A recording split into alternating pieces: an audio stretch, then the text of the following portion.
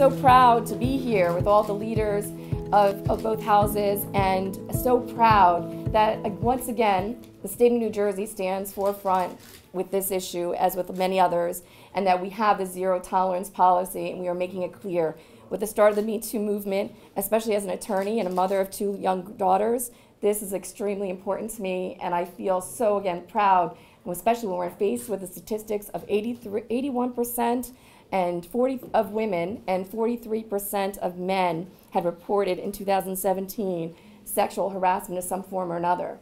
So here we are making an example and showing that we will not accept it. It is unacceptable, it is egregious, and we will not put up with it here in the state of New Jersey. So every two years, we'll have to make sure we do the online policy, uh, go through the policy, make sure that everyone's very aware of what the policy is, and make sure that we are taking care that everyone here feels protected, safe, and able to go ahead and report anything as well if there should be something.